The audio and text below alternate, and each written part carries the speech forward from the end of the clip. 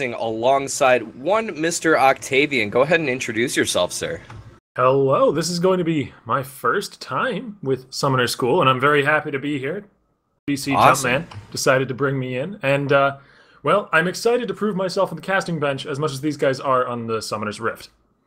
Yeah, let's take a look and see what we have to expected. So you've been seeing some uh, on the stream. You've been seeing some champions flash by, and uh, those are just their preferred champions. We just wanted to highlight something, kind of maybe not a comp that they're be going with, but just some champions that they're looking for. But as I say that, we're going to be jumping in to picks and bans. So let's see what we're going to get here. Octavian, what are you expecting out of these guys?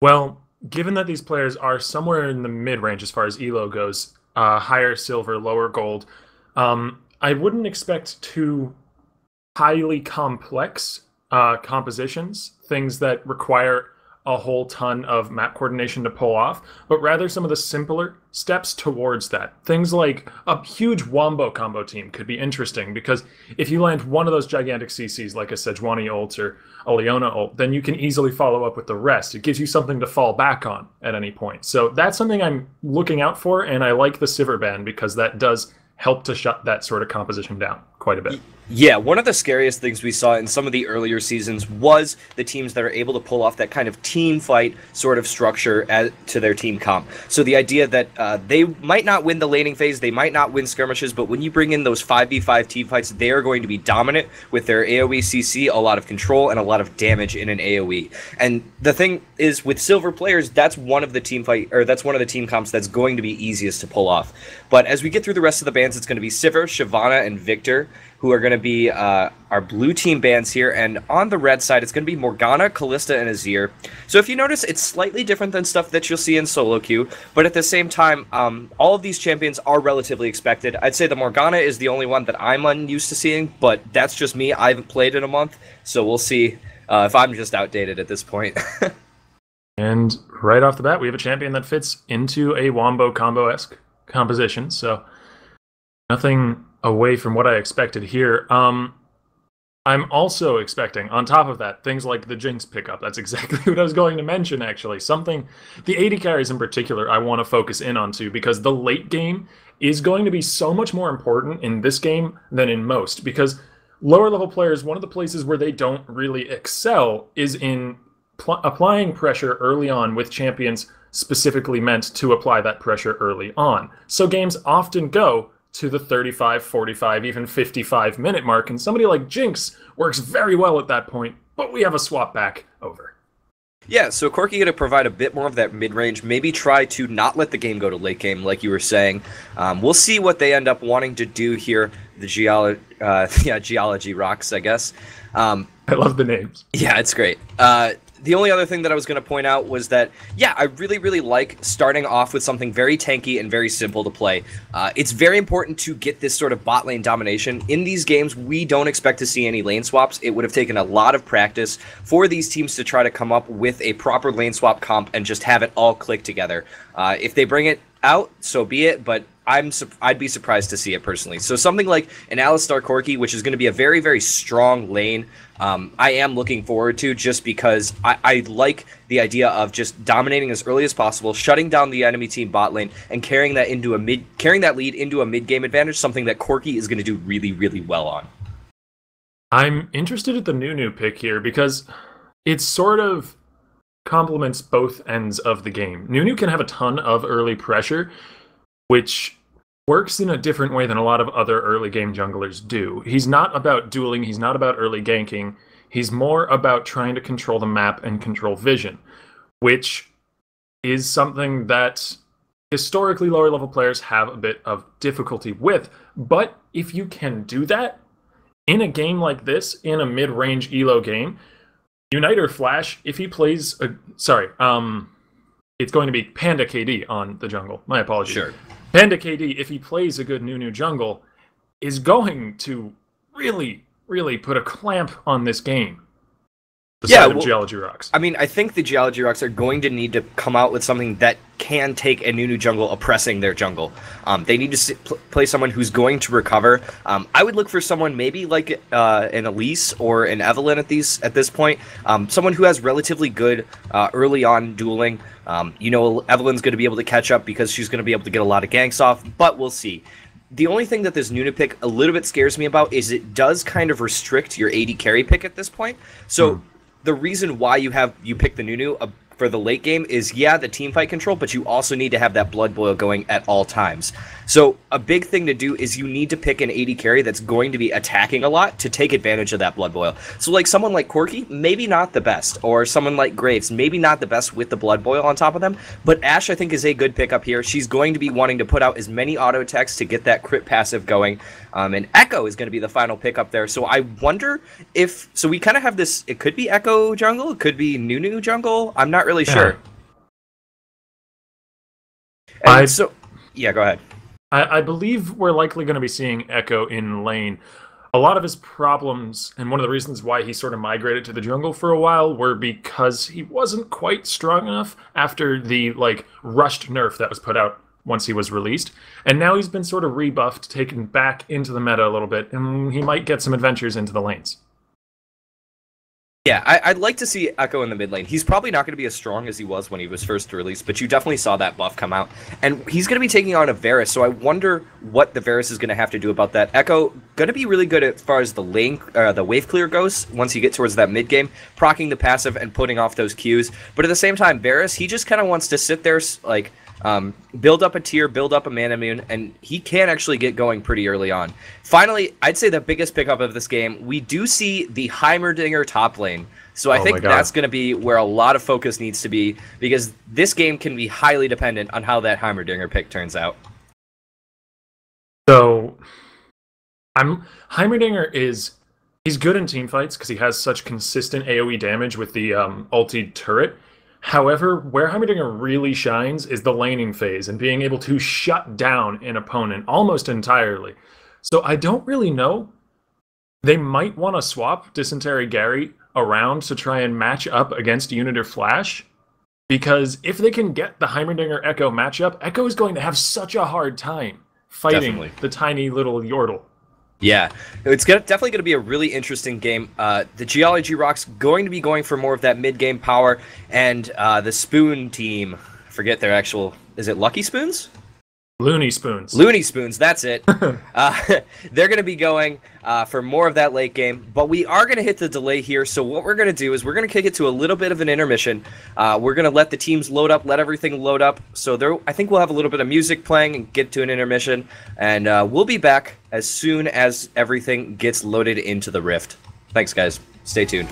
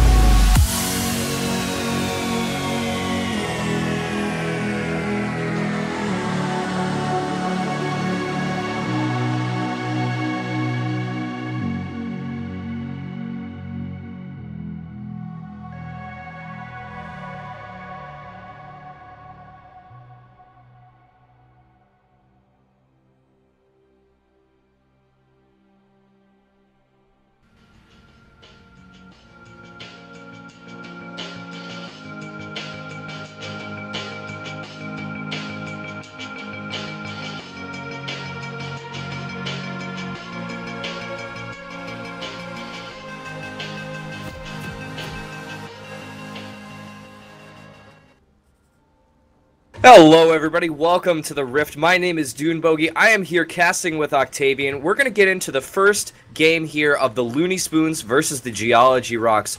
Octavian, how you doing, my friend? I'm doing fine, and uh, even better now that we have Dysentery Gary, who has a great name, playing Heimerdinger, who's a great champion in top lane, which isn't a lane I like very much, but I mean, I guess two two out of three isn't bad. Yeah, that'll work. All right, let's run through the teams here just in case uh, everybody isn't familiar with the players, which I assume you're not. We're going to see Shade Hendricks playing that Gentleman Gnar here in the top lane, going to go against that Heimerdinger. Ekko Mid is going to be played by Uniter Flash, uh, assuming that I read that name correctly. Uh, Panda KD is going to be your Nunu bot here in the jungle, and the bot lane for your Looney Spoons is Golden Beaver on that Thresh support, and I'm on Ashe. On the side of Geology Rocks, of course, Dysentery Gary, as I mentioned, in the top lane, playing Heimerdinger. Heidi Sai in the jungle as Gragas. Lord Cole, alongside Lord Ultra Titan 96, will be taking up the two AD carry roles, one from the mid and one from the bot lane. And Pocket Banana, who no one ever expects, is in the bottom lane as a support. All right, let's get this game going. We've got some early wards placed out. Heimerdinger started dropping turrets, and uh, we're ready to get going. Hendricks does have the range to take these out, which is good. A lot of top laners have difficulty against Heimer because, of course, a lot of top laners are melee, and so taking out the turrets requires taking damage. But Gnar has the advantage of boomerangs. Right. I think he just needs to be aware of where those turrets are placed, uh, keep his placement in check, and uh, just keep spamming out those boomerangs, and he should be able to clear them out. Similarly, in mid lane, Varus should be aware where he's always placed. Be aware of where that little gizmo is coming out from the Time Winder of Ekko and uh, try to keep that harass as low as possible, as we see pretty much normal starts here from the junglers. And Panda KD got a very healthy leash from his bottom lane. Um, not sure if that signals anything. It does mean that Nunu will have a little bit of a faster clear, might be going for an invade at some point. Then again, that wouldn't be too surprising given yes, he is playing Nunu. I was going to say, Nunu invade? No way. I Ooh. like the early push that bot lane has gotten for the blue side here. They will be hitting level 2 just that little bit faster. Fortunate that Pocket Banana didn't land the Pulverize. There's a lot of damage he took, basically. Nothing traded back, but um, he's Alistar. He'll have some healing. Yeah, he should be okay, but yeah, generally with Alistar, you do want to try to wait uh, for that level 2 to get the Headbutt Pulverize combo. If you're going to go level 1, you either need to have the greatest opening of your life, or you probably just need to expend Flash, and even then, that's a very risky proposition, and it will be Thresh hmm. missing a hook there lands the flay, but at this point, Pocket Banana has healed up from the previous damage. He's taking a lot more, though. This is... Multiple biscuits are going to be, need to be eaten here. He's going to have to take a few snacks before he can feel healthy again. Looking elsewhere, it looks like Nunu has already hit his level 3, he's gotten the red buff start, and he might be coming around for a gank in the mid lane, or, the better choice, he might be trying to eat a Scuttle Crab. But as he walks by, he finds out, oh, it's already taken, and he's going to be going back to base. Sai has done a very, very efficient jungle clear here, just hitting the important spots. Get it. Oh, nice. Hook and flay onto Lord Ultra Chain. Again, the trade's being handily won by blue bottom lane, or rather, my apologies, by Looney Spoons in the bottom lane. Yeah, I, I would like to see Thresh using those Relic Shield passives just that bit more. Uh, not only does it help you push the lane, but it also gives you a bit of health back without relying on potions, so you can actually save your potions on support and the AD carry. Not that Ashe needs it at this point, but there's no reason to not use those when they're off cooldown. That extra gold income is incredibly important. Uniter Flash, knowing better than to face check into the bush there. It was Oh no, he's still going in for the Time Winder. Lord Cole is going to be forcing the flash. He has the Ignite though. It's burning. He might pick up first what he does, but he will go down for it. Still, so yeah, that was the a, end. 100 gold more to him. That was a really good bait by Varus, but he did not stay aware of the Ekko passive. That Z-Drive Resonance does do a lot of damage when it gets that third proc, and he didn't keep an eye on it. Akabana is doing the best he can to try and mitigate this trade, but that's an exhaust on the Golden Beaver. Sort of at a unwarranted point. Yeah, I mean, that was just a really good hook landed by Thresh there at the bot lane. He took a little bit of punishment for it, but I don't think they ever were going to kill him. Corki's just too low at this point, and he's not ready to expend that heal. Yeah. Beaver is uh, doing quite a good job on this Thresh. He's, as you said, not made the best use of the Relic Shield, but he's been landing hooks, which is a little bit more important. And he tosses out another one, and it hits onto Lord Ultra Titan. Takabana forced to use all of his cooldowns defensively once again. I do like the Corki having the patience, not popping that heal, relying on his ability to react in time if that Ashe went for the kill. Uh, he didn't actually have to use anything. His pot's gone, so he will be going back to base. And he hasn't died from this lane, even though getting hit by two or three hooks here. So overall, you know, it's a lane that they are losing, but God, it could be a lot worse. Yeah, it's not going to be very nice giving Ashe a level advantage, though. That level 6 power spike is so incredibly strong, but we have a snowball from Panda KD. Lord Cole, with no flash available, is easy pickings. Uniter Flash will pick up another kill this game. Yeah, Varus already burning both his summoners in that last exchange. Panda KD with a really, really easy gank. Varus was already cheating to that side. Um, he doesn't actually have either side warded, even though he has his uh, his trinket ward up. So a little bit of mis uh, misuse of that ward. Should have at least one side up, and then you can kind of cheat to that side because you know there's nothing there. Just getting surprised out by the Nunu. Ooh, that barrel did a good chunk of damage for a Sightstone built Gragas, but he does have good base damage. As Dysentery yeah. Gary, we mentioned this top lane a lot during the uh, Champ Select and immediately afterwards, but there's not been much action up there ever since then. Well, Probably if you if you consider Heimerdinger pushing in a turret over and over again and being 10 CS up on the Gnar, then yeah, that's about all that's happened. Um, neither top laners really even needed to use a potion. Gnar is finally going to pop his one there. Uh, about 5 CS down, but Heimerdinger's just got this setup going. It's not currently warded, and I'd like to see Nunu coming up for a gank soon, but Heimerdinger is in a very nice place at this point. It's where he wants to be at.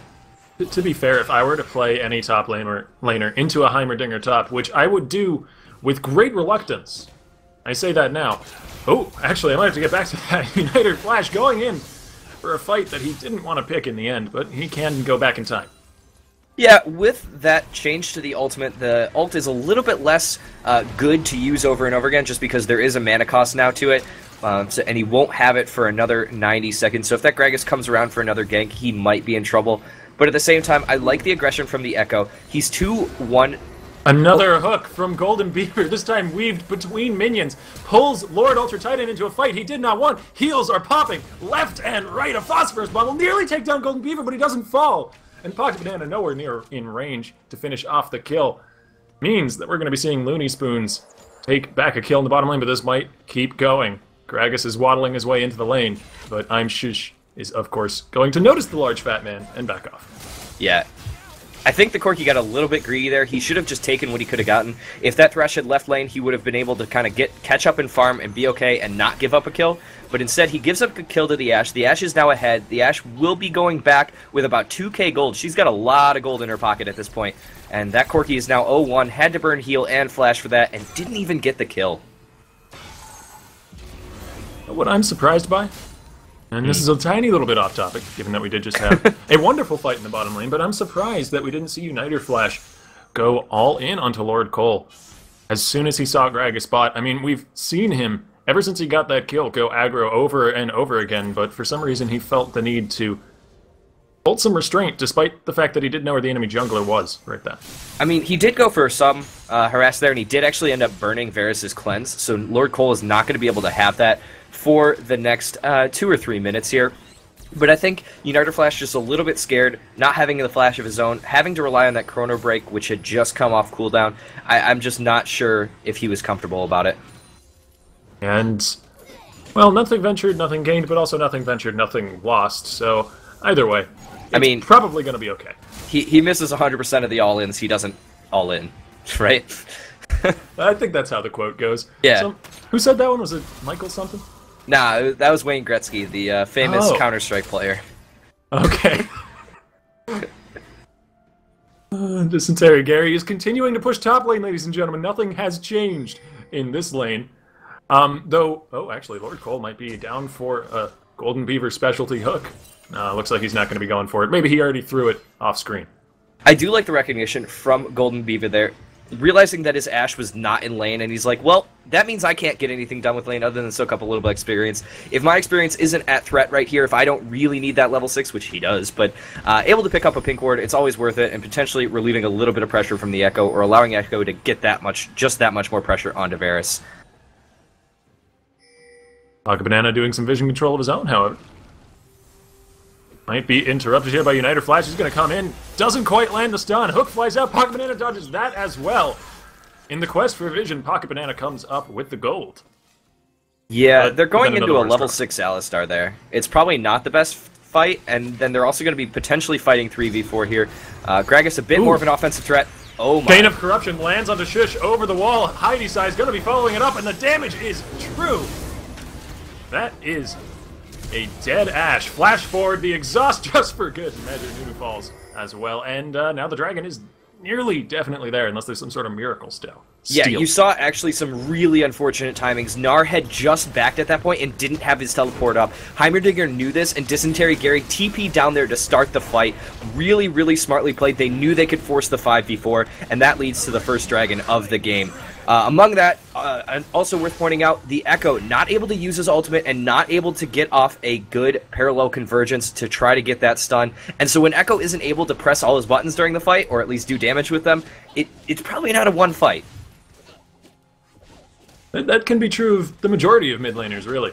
You can say that about nearly any solo laner, especially at this point in the game, as we're coasting towards the mid game. That's when mid laners are their most impactful. After that first or second item buy, and they just have such a huge power spike there. Yeah. So you see Gnar played by Shade Hendricks. They're going to be getting the first turret for Looney Spoons and the first turret in the entire game. So it's not quite a worth for Dragon, but at least he does pick up something in return. I really want to see a fight between Shade Hendricks and Dysentery Gary, but I think that's just a pipe dream at this point. I mean, I want to see anything happen by Dysentery Gary because, you know, Ooh! Dysentery. Beautiful double stun, but Uniter Flash is going overconfident with it. It was a gorgeous skill shot, but that doesn't mean you automatically win the fight, buddy. Yeah, and just not doing enough damage with that Morellonomicon. Varus surprisingly tanky with a thousand over yeah, almost a hu- 1100 HP there. Not able to do enough damage on the Ekko and almost dies for it. If you saw, he was actually chained up by the chain of corruption from Varus there, and so Uniter Flash was just probably spamming that R button, waiting for that snare to go off so he could get back that health. Yeah, it was just a little bit off pace. Gnar was roaming down. If Shade Hendricks had been in position, maybe they could have used that Mega Gnar AoE to get some kills. Maybe that could have been a 2 for 0 trade, but as it turns out, it was just a lot of Ekko's cooldowns burned for not very much. Yeah, I think one thing also to point out is that we've had this Varus use cleanse a couple of times here, and not sure uh, exactly the circumstances in which he used cleanse, but it certainly wasn't ideal. Um, he did sit in that Ekko stun for a little while, and I don't think his cleanse really did much else other than that.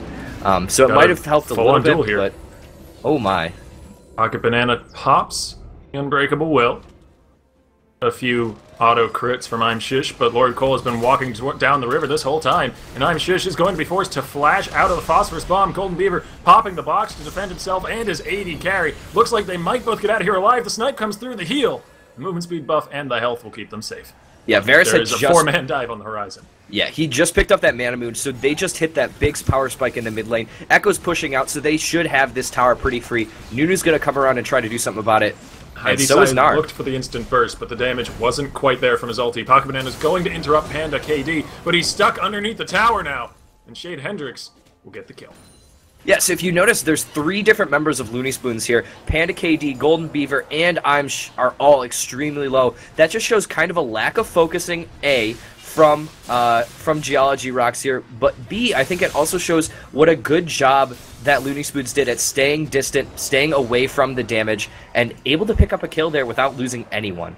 Yeah, they were swapping aggro.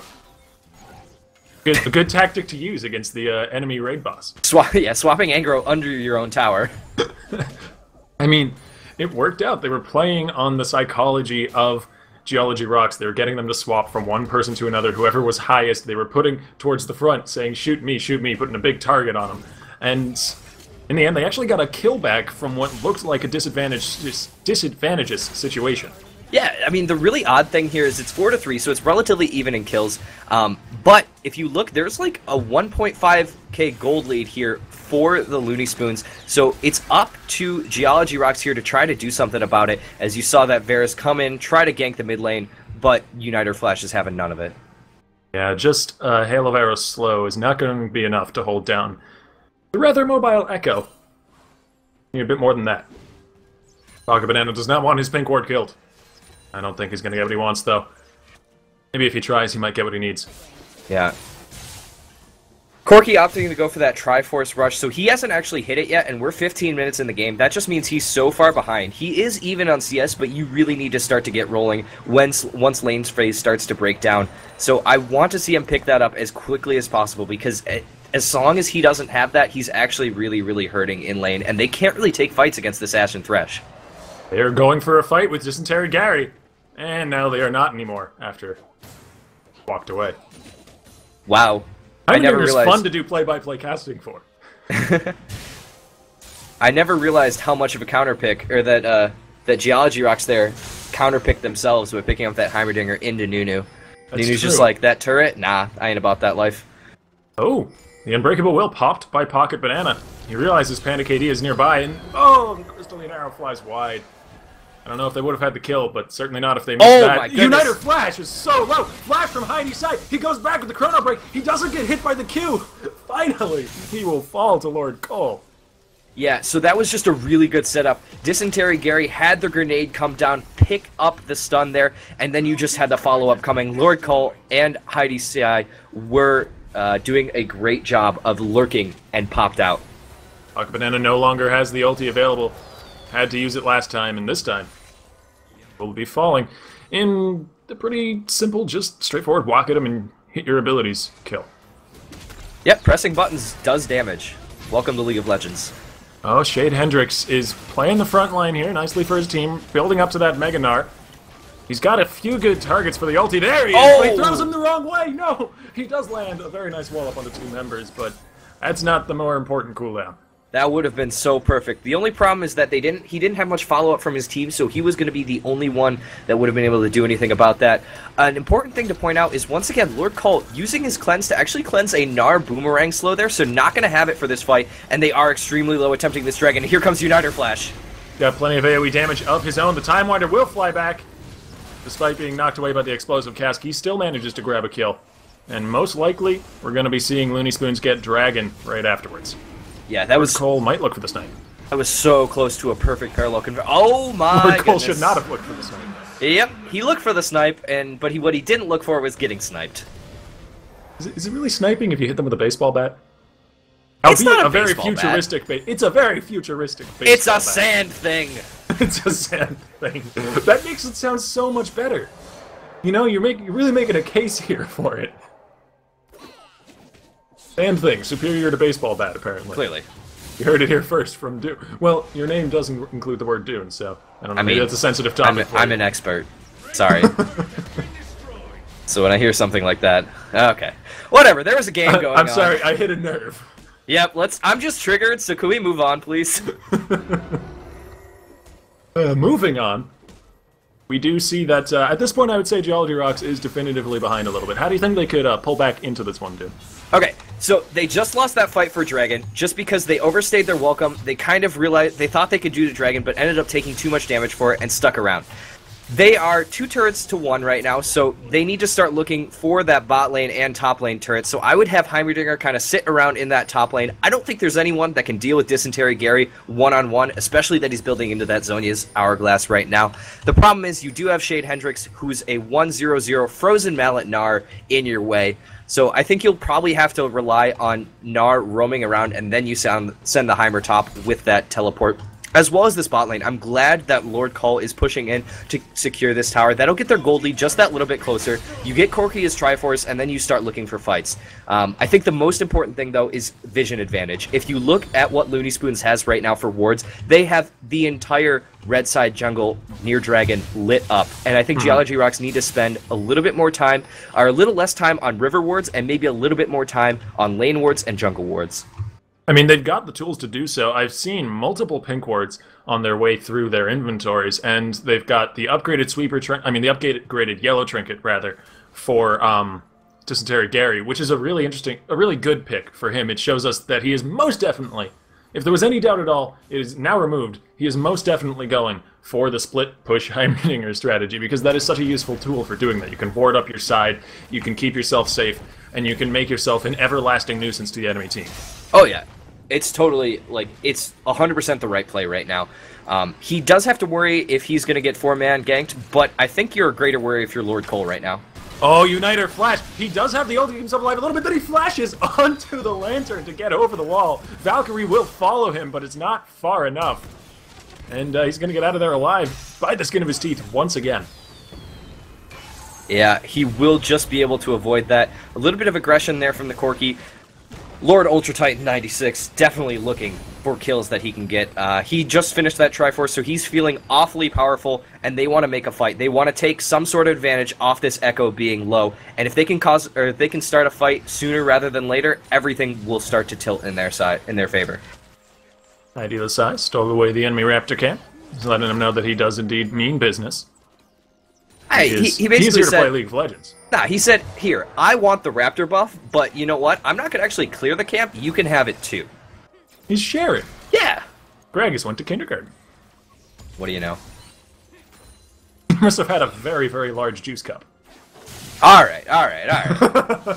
you assume that when he okay, it wasn't juice. Um. Anyways, yeah. So with this Triforce power spike coming out from Lord Ultra Titan, you notice oddly enough that he's out of mana and he's in this bot lane, so he is not grouped up to fight right now. But this is kind of the thing that tends to happen with these sorts of silver games. You see a lot of players start to group up in the middle lane, say like, okay, the middle lane, that's where people fight, right? That's where we all should go. Where it might not be the best objective to contest right now. Heimerdinger, I think Dysentery Gary could have been doing work to that top tower a little bit more. You saw Corki, I like split pushing there, getting as much gold as you can if you're not going to fight. You need to maximize the gold income that you're going to get out of these all of these lanes if you're not going to fight. Just because you're behind almost 2k gold at this point, you need to do something to come back. And just sitting and waiting for a fight isn't the right play. Speaking of item spikes, though, we don't only have the Trinity Force. Um, that is a very important one to keep track of. I would not like to diminish your point there. I think it's probably the most important item spike in, well, the whole game, I'd say. But we do have a Transform on its way for Lord Cole. He's more than two-thirds of the way finished with the Muramana, so in the next few minutes we'll be seeing that shift around in his inventory. And um, on top of that, Uniter Flash has been doing very well this game has quite a bit of gold for himself and has managed to finish off Nomicon and a Zhonya's Hourglass. He's at that two-item point that a lot of mid laners spike hard at. Yeah, so he's going to be doing a lot of damage. The only problem is he is a little bit nerfed. Um, Ekko not having quite as high damage as he did on release. And another thing that could kind of cost Loony Spoons when you get to that late game is that a lot of teams these days you see them pick up like two to three threats. Um, that's like two to three players that are going to be doing most of the damage here into late game, and then the other two you generally look for as the tanks, the ones who are going to soak up the damage. And arguably, you almost have three damage or three tanks here on the side of Loony Spoons, so it's going to be incredibly, incredibly reliant on Ashe and on Ekko to be building a lot of damage because they're going to be the only ones doing it. On the flip side, you just have Gragas and Alistar, and this is more of the traditional two threat comp that you or two tank comp that you look for out of Geology Rocks here. So they're going to have a bit more damage, but they're going to have a little less tankiness coming into team fights, and I think it's going to be more into if uh, it's well, it's how much things like Gnar can get onto the backlines because if he can, they don't have the HP to stand up.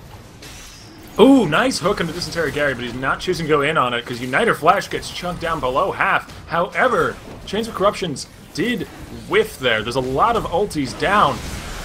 Here we have a teleport off from the side from Shade Hendricks. He's nowhere near Mega Gnar, though. Dysentery Gary is doing huge amounts of damage. Golden Beaver will get chunked down for a double kill. I'm Shush now getting focused away. Heal pop to try and escape, but he's thrown back into the team fight. Triple kill for Heimerdinger. Heidi side will finally finish off the Ashe. Heimer does fall in the end. Oh no, Pocket Banana not quite close enough.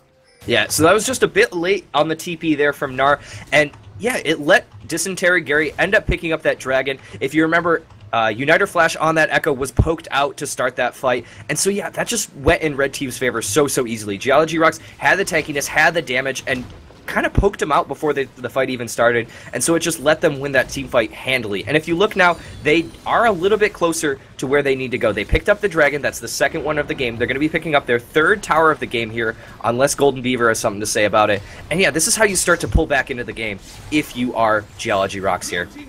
Well, they might be looking for some sort of follow-up. No, it doesn't look like it.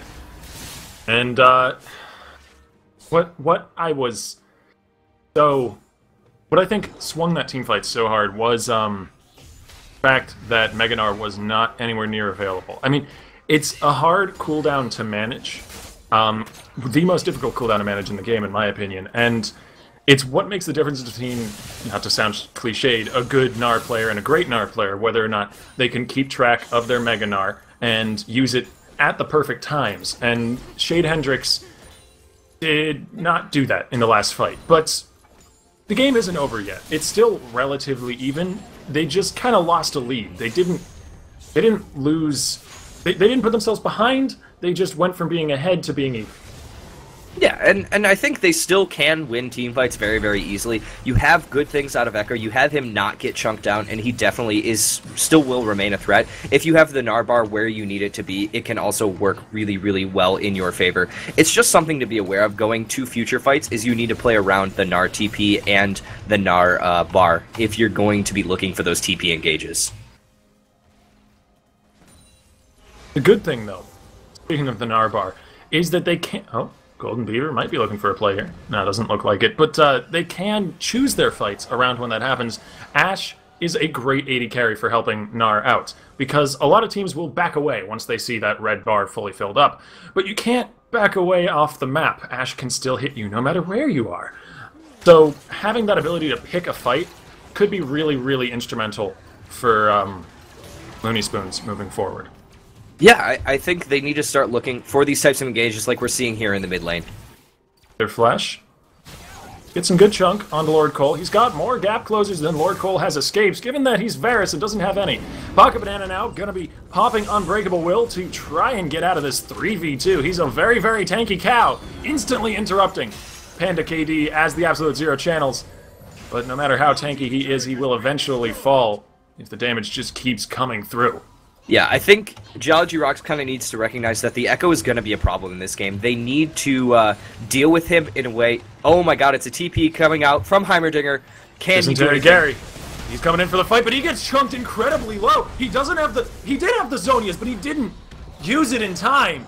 He's gonna be falling over before he can get any kills, and now everybody's escaping with barely any health left. The shield keeps Panda KD alive. No, and Otto follows him through the dark passage, and Lord Ultra Titan will be giving up his life as he overextends to try and clean up that kill.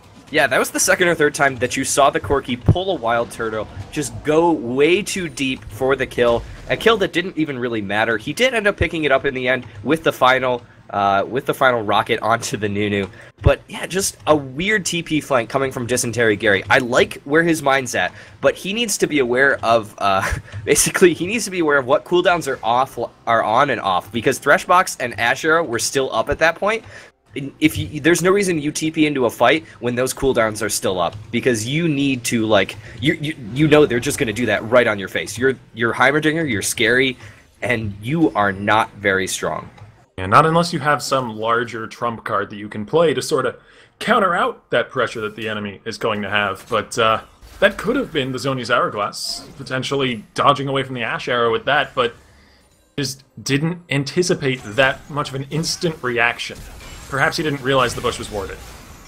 Uniter Flash is going again, incredibly aggressive. Lord Cole is going to be able to back up this time, but that's uh, the Varus ulti and cleanse down. Yeah, I love the aggression coming out from this Ekko. He needs to be making plays in this game, and he is. Um, he's six three and two. He's gonna be the main. Dysentery Gary? Oh my! Down in bottom goodness. lane, and he's making some mistakes again. I'm sure she nearly goes down, but that is a killing spree for the Ashe. Yeah, so I'm sh- actually ended up picking up a red pot there. That's kind of what helped her stay alive there. Um, I, I, like the idea what Dysentery Gary was going for, but once again, you have Zhonya's and you don't use it.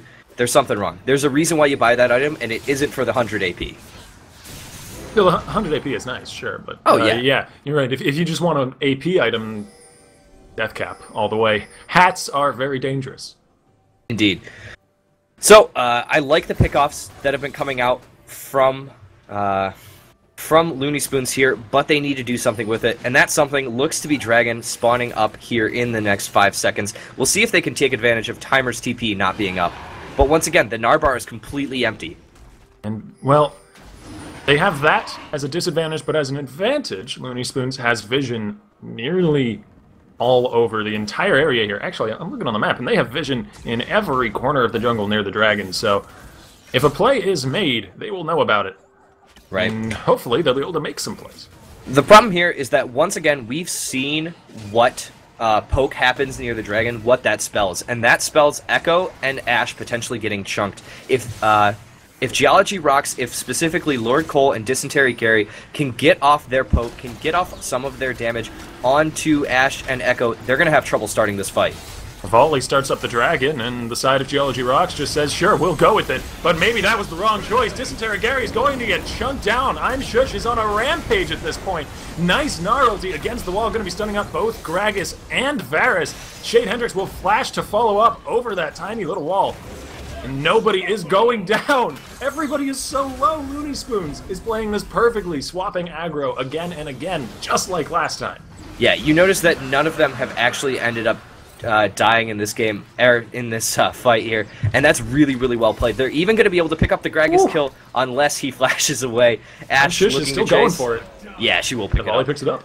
So yeah, that fight was extremely important because of a couple different reasons. One, it's that second dragon. You even out the dragons, and you kind of saw uh, a comeback starting to maybe happen from Geology Rocks here, but denied coming out from the Loony Spoons. A great Ashe arrow catches out the Heimerdinger once again, not able to use that Zhonya's. Immediately, immediately picked off. And then right after that, you notice that Panda KD got off almost a full channel ultimate here on Nunu. So he was able to not only do a lot of damage with that, but also he controlled a lot of that fight with the slow coming out. He allowed a lot of damage coming out from Ekko and Ashe to go down, and it allowed his team to win the fight pretty easily. Not to mention the extreme, well set up Gnar ult there. Doing a good job here, Shane Head- Shade Hendricks.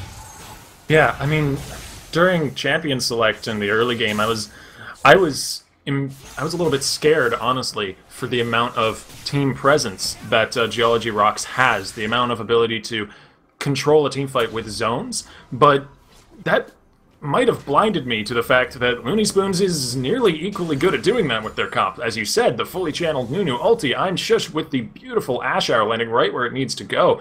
And then all the AoE that an Ekko offers, they've got their own ability to control a team fight, and they're just executing it a little bit better, which I think is demonstrated by the way the health bars looked at the end of the fight. Yeah, and I, I, think they can play kind of a, a, more passive game. The only problem is that I think the late game still goes to Geology Rocks here. The Alistar damage reduction once he hits that level 16 is insane. Mm-hmm. Um, I, I, think that they potentially can put out a lot more damage, and if they can get the pickoffs on Ekko and Ashe, they can win fights. Basically, if Ekko doesn't isn't able to get off his ultimate, isn't able to get off a parallel convergence, and you pick him off early in the fight, he's just that that team fight is already over. Ekko's damage is so so important. It's one of the main magic damage components on the entire team. And uh, I think that's what the kind of pick off that they should be going here from someone like Pocket Banana on that Alistar. Vision battles in the top side of the map here. Dancing around the Baron, that might be the next major objective in the sights for both of these teams.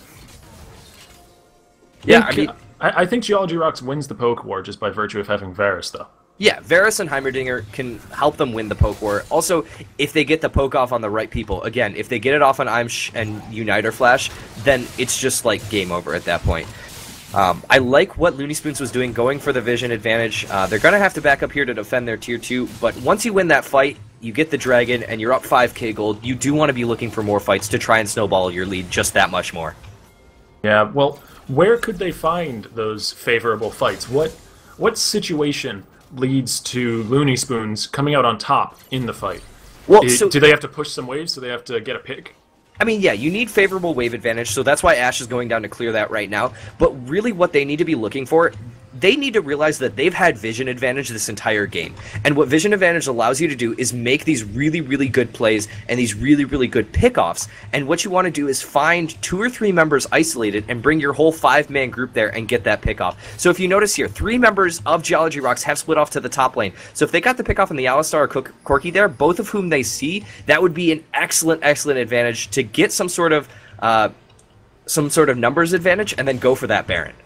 And they had the potential to go for that as well with Pocket Banana.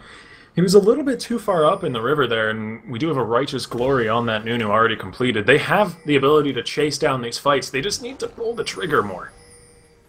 Yeah, and I like what they're doing here. They completely out-rotated Geology Rocks, um, recognizing that, yeah, hey, after we push this wave up, it does end up hitting turret. And uh, Varus going back to pick up um, kind of some non-meaningful items. Probably not worth it. I think that a little bit better response was needed there from Geology Rocks because they just gave up that turret for free.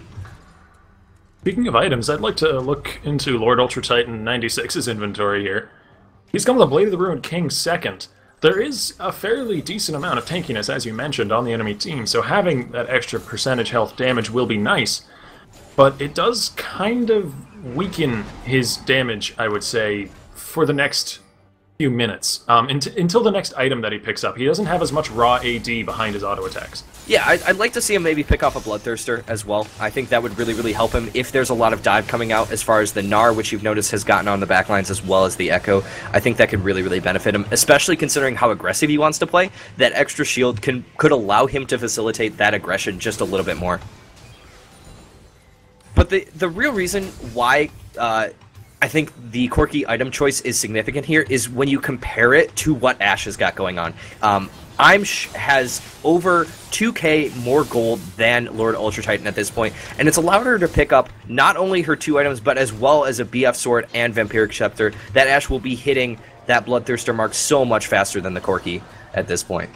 And Ashe's gold advantage is a merit of Loony Spoon's ability to team fight. We've seen time and again they get out of team fights with red health flashing bars and everybody, but nobody falls. So Ashe is able to clean up kills left and right, whereas Lord Ultra Titan hasn't had that luxury. He's kind of had to fend for himself a bit more in these team fights because there just hasn't been as much coordination. Yeah, I. So yeah, that was a lot of delay there coming out from Loony Spoons, and the reason why is you saw uh, I'm just go back and pick up that Bloodthirster, finishing it up on the Ashe. So she is incredibly strong and just in time for the dragon. Speaking of that dragon, the the alarm bell's ringing here, and it's Dysentery Gary going to top lane along with Hiddle's Heidi Sai. I'm not really sure. They're just uh, ignoring the hmm. dragon being going on. They have vision of it happening. I thought maybe they might have been going for a Baron play. Heimerdinger is known for being able to quickly burn down that objective might have been trying to just make a play happen in exchange for the dragon, but whoa! Was that a flash we saw? That was yeah, flash he flashed the he flashed the Ashe arrow. Uh, doesn't mean he means he doesn't have it here for Shade Hendricks, who has that frozen mallet. There is no escaping this Gnar and a hook from the corner. Golden Beaver has been on point with these Thresh skill shots. And uh, how convenient for Loony Spoons here as they continue to chase it out. Righteous Glory. Panda KD doesn't have any hard CC, but he's got plenty of slows. There is no Corki here for this fight. This is just disaster waiting to happen if anything catches on. It doesn't look like going to get in range. Boomerang is probably not going to be enough. Yeah, well, they got the pick off on the Varus. It's still 20 seconds off. They, if they want to, they could still go for this Baron. I don't think they're at that much threat, but they're aware of the poke potential mm. coming out from Heimerdinger. I would have liked to see maybe a little less commitment for the for the Gragas and Heimerdinger. I think you if you can force a team fight to happen at that Baron, you're gonna win it anyways, and so maybe saving your cooldowns for that might have been yeah. more important, as well as securing that Baron objective. But if they don't feel comfortable about it, they don't have the vision advantage. I understand waiting it out. Uh, you don't want to risk it. You're you're up 6k gold. You just got that dragon. You just got to pick off. Everything's going in your favor. There's no reason to pull a Dignitas and throw it Baron. As I said though, Heimerdinger does have the ability to take that objective very quickly, so they have to be vigilant with their vision control near the uh, Baron Pit on the side of Loony Spoons, because if they ever let that area grow dark, Heimerdinger could make quick work of Baron. Yeah, I, I don't know if you know this, but Dysentery Gary's a sneaky one. I mean, his name's Dysentery Gary. Somehow he got away with that.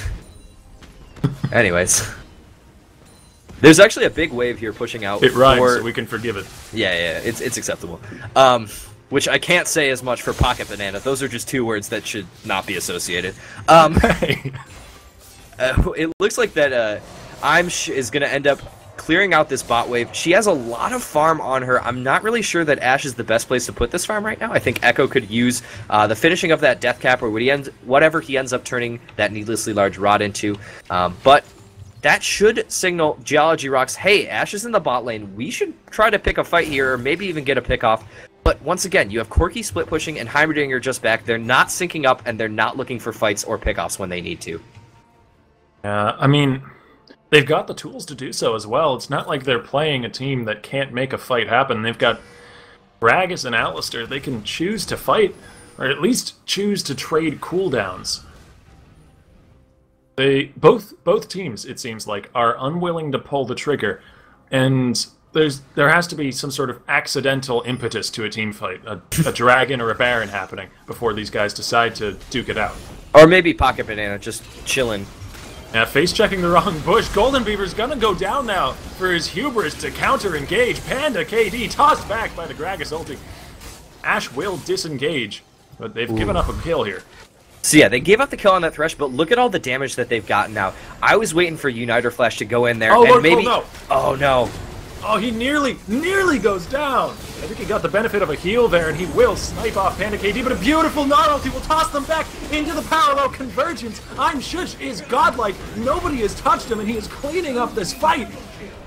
Gorgeous, gorgeous teamwork right there. Yeah, so that was really good by Gnar to push back everyone into that parallel convergence. The circles were happening there for blue team. What a great job by United Flash, our Uniter Flash on the Ekko, being able to land that four-man stun. Just let I'm Shush take advantage of that stun. Just sit there and just throw out auto attacks left and right, and they cleaned up that team fight so, so well, while being 4v5. Whew. I mean, I've said it before. I I think that team fight in particular, I can't say that about every instance in this game, but I think that team fight in particular was just an example of a mechanical outplay. Gnar got a gorgeous ulti because Geology Rocks kind of gave him one. They stood all clumped together. They were face checking into a bush. It wasn't quite as well coordinated as it could have been, but they're still not out of this one. No major objectives fell. I, the inhibitor turret in the mid lane is pretty major, but the inhibitor isn't down. The Baron isn't down. And as we coast into the late game, those are the big things. Those are what you have to get. Yeah, and we'll be watching out for that. And I think one of the important things is when you're contesting those object or those objectives, when both teams are incredibly nearby each other, um, it's the poke that goes on. It's the damage that goes on before the big ults are spent, before all this important CC goes out. If you notice, that last fight was the first fight where you actually saw Geology Rock significantly trunked when they started that fight. A lot of times you kind of saw it the other way, or there was a pickoff on Geology Rocks' side, but that was the first time that they were properly chunked, and they just get AoE'd so easily when that happens. Uh, when they're not, not able to get to the backline of Uniter Flash or I'm Shush, which isn't something they've been able to do this entire game, uh, except for maybe one or two fights, and that's going to cost them fights if this continues to happen. Like we might see Loony Spoons again return to the Baron Pit, take up once again that dance. And this time, they've got enough of a gold lead, enough of an item advantage that I think they can just start it right off, yeah. Yeah, they're just going to do it. They put down the pink ward, and they're feeling confident. Once again, it's Geology Rocks who are split, and Loony Spoons who are together. And they burn that down, that Baron down very quickly. Shade Hendricks again over the wall. Mega Gnar, he's going to flash right out right afterwards, though. He wanted the fight, but then he changed his mind. Yeah, this is the classic uh, attitude of you make an amazing play like stunning the Varus against a wall, and then you just yell team, team, and team isn't there, and then you're like, well, I'm kind of committed, but I'm just gonna flash out. it would have been so good, but they got the Baron. That's good enough.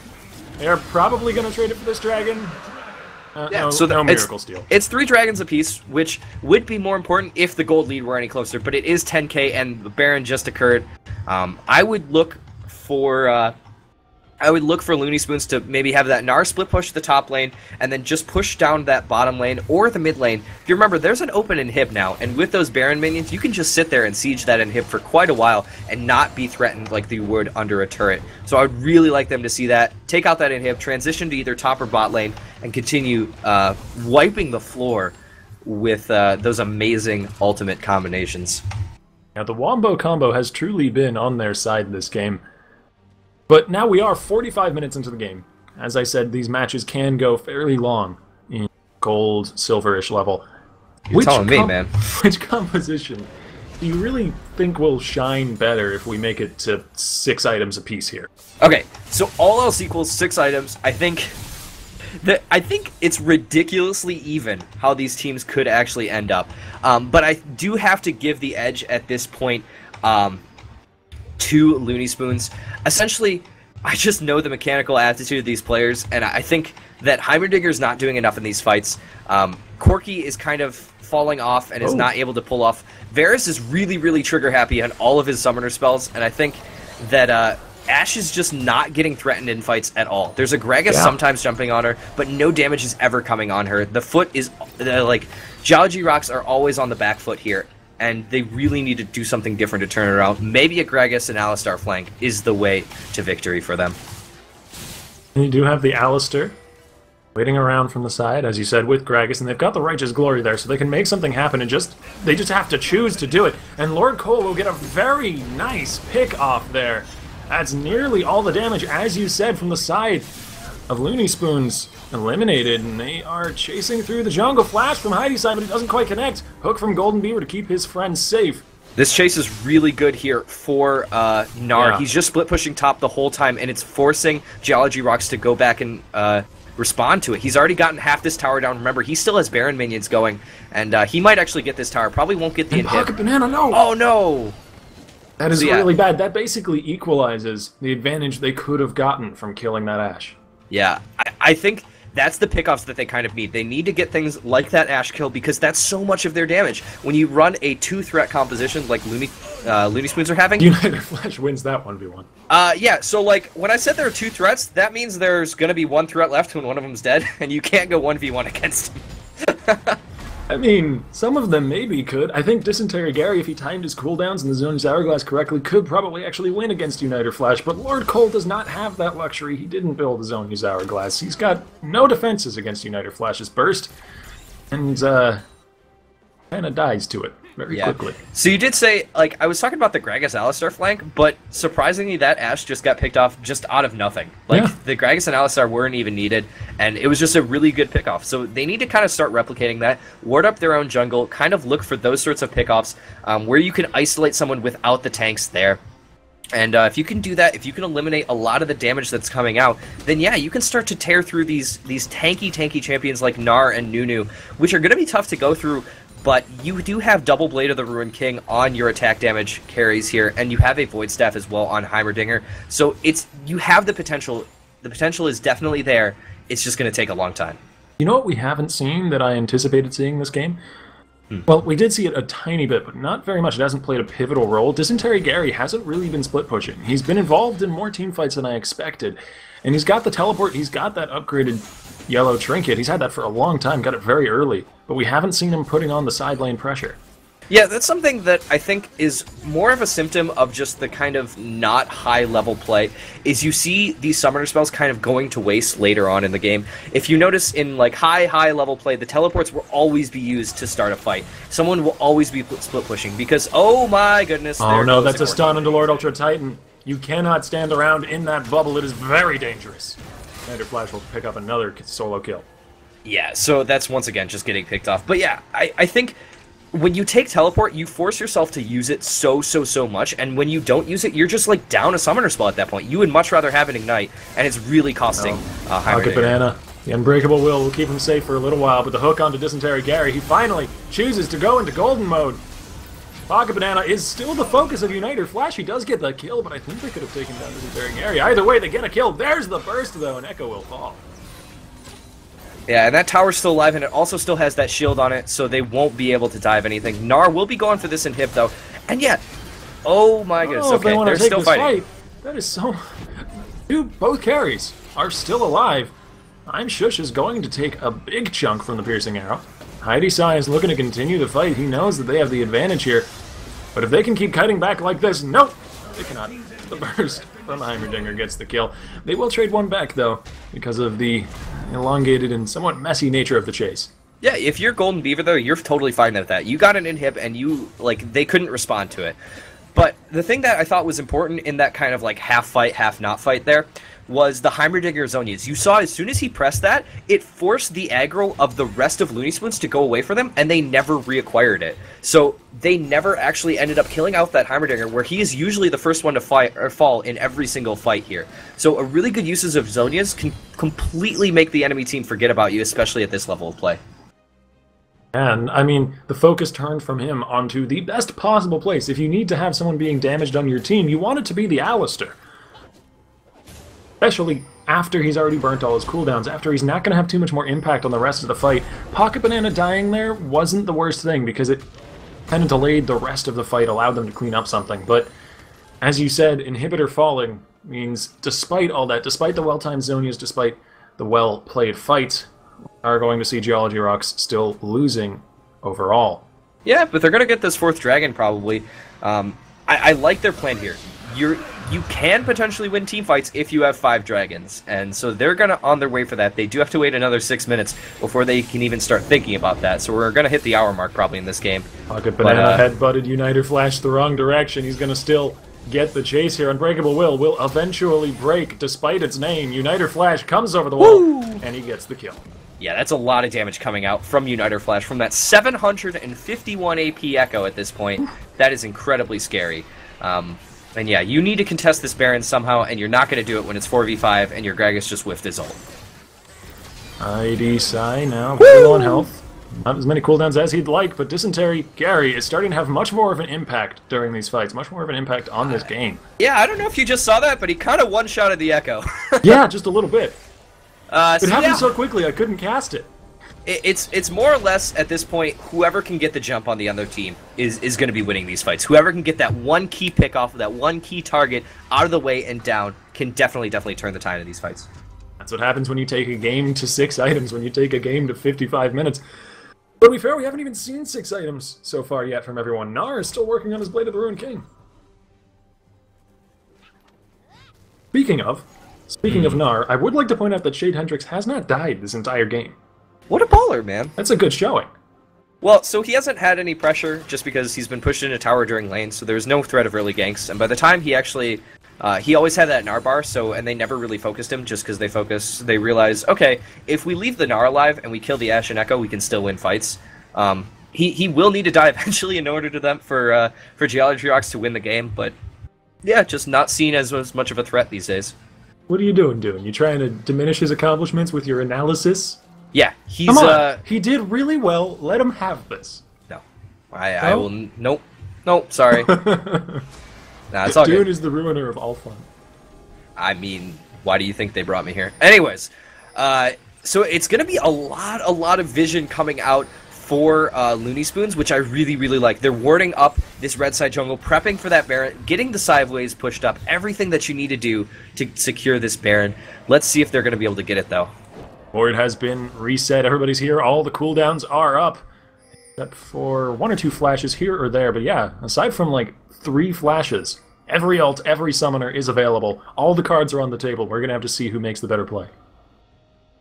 Yeah, and I think that relies on the on, on the pickoff, like I mentioned earlier. It's whoever gets the first like important damage off. Uh, most of the time, it's Ben Uniter Flash, and I like the aggression shown from him. If he can get off important damage on an important Gilbert target. Like right now, He's coming over the wall. Dysentery Gary gets stunned up, chunked down below half. Uniter Flash will Zhonya's to avoid all forms of retribution. Now Pocket Banana, placing himself in front of his allies, will fall for them, but somebody still dies. Oh, nice Ashe Arrow! Following up on this fight, Lord Ultra Titan gonna be flayed backwards in an absolute zero. It's very, very chilly. Down to the bones. He's, he's dead man. Yeah, so that's the bot lane dead there from Geology Rocks. And again, that was just Uniter Flash being extremely aggressive, getting a nice amount of damage on the Heimerdinger. And when you have Zhonya's, you're not afraid of getting like jumped on just because you can wait for your team. Um, and that's what he did there, able to turn it into two kills with a nice Ashe Arrow coming out. And they should be able to turn this into at least one Hib in Hib and possibly a Baron and possibly maybe even the game. Uh, they look like they're going to be going for the safer call of Baron here, backing off towards that.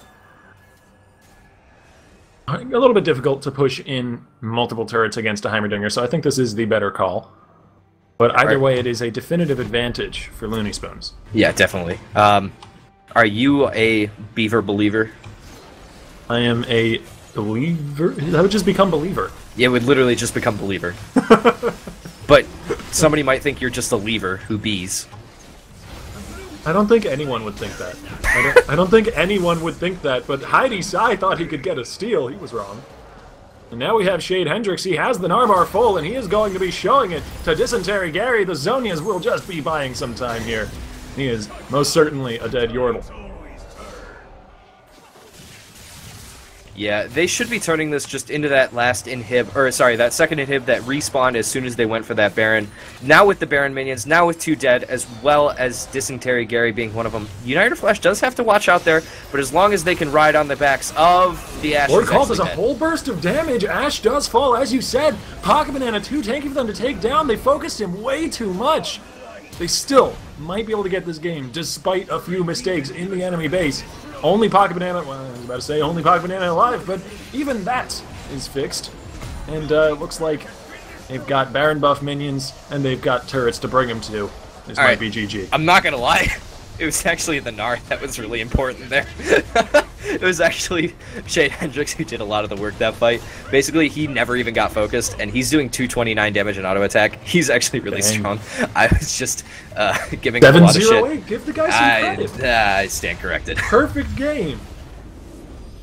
Yeah, so that was really well played by Loony Spoons. Um, you saw them come out with a really interesting strategy of picking up the Nunu jungle as well as the Ekko mid without going in for sort of uh, that really, really early aggressive, uh, aggressive early game because they have the uh, because they have the Nunu jungle. Instead, waiting it out, playing a 55 minute game, and ending up picking the win here. Uh, pretty convincing, wouldn't you say? Seemingly so. I mean, every full on team fight that we saw that didn't begin with a pick on one side or the other, that was just a five on five display of skill team fight, was won by the side of Loony Spoons and won pretty well. They didn't give up unnecessary kills. That last one was a little bit messy, but to be fair, they had blood in their eyes. They saw the victory, they wanted it bad. Other than that, they were focused, they were coordinated, and it was a good showing. Yeah, definitely. Um, all right, so let's remember this is a best of two uh, series here. We're going to be going to a short intermission shortly, um, but just a reminder that we're going to reset everything. We're going to let the coaches give it give uh give the coaches a chance to talk to their teams, figure out what if they want to change up their strategy, though, if they want to bring out a completely new comp, if they want to do the same comp but work on it. Um, I am obviously looking forward to just something completely wacko, something completely out of the blue, but who knows. Um, but yeah, I, I want to see the changes that these teams make, and I want to see the the uh, what the changes the coaches have in store for us. Um, I believe we will end up talking to the coaches eventually, just kind of getting their uh, breakdown of kind of what what what went wrong that first game and uh, how they transitioned it into the second game. But for now, we're going to be going to a quick little break. Uh, I am actually going to be done for the night. Octavian is going to keep casting, but in case you're wondering, uh, I am Dune Bogey. I was casting with Octavian, and uh, Hey man, that was that was a pretty good cast, wouldn't you say, for your first one? It was pretty fun, yeah. Thanks for uh, having me along, and I hope to be seeing some more of you. Yeah, sounds like uh, you're going to be still doing that play-by-play next game, so looking forward to listening to that. You get to hear me shout some more. Oh yeah. All right, guys. So, like I said, we're going to be heading to a quick little intermission, and uh, we'll be right back with game two.